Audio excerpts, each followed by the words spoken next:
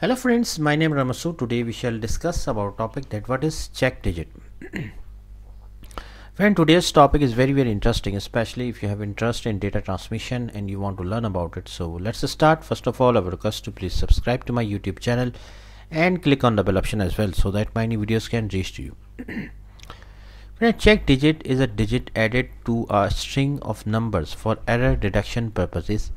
Normally the check digit is computed from the other digits in the string.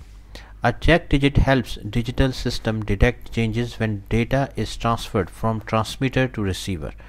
The check digit is the decimal equivalent of the binary checksum used in the binary system. Now, how to calculate the check digit? Friend, a check digit algorithm calculate a check digit based on an original character string such as account number, the receiver can recalculate the check digit to verify data entry accuracy. If the recalculated character string contains the correct check digit, the data is error free and may be used. However, a character string that does not include the correct check digit indicates a transfer error which signals that data must be re-entered and or re-verified.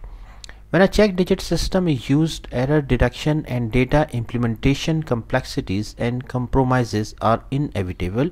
Simple check digit systems easily understood by humans cannot detect errors with complete accuracy. Unlike complex systems that use more complicated error detection algorithms, a recommended check digit characteristic is left padding with zeros which never alter the error original check digit and allows for application of digits with verified and dynamic length.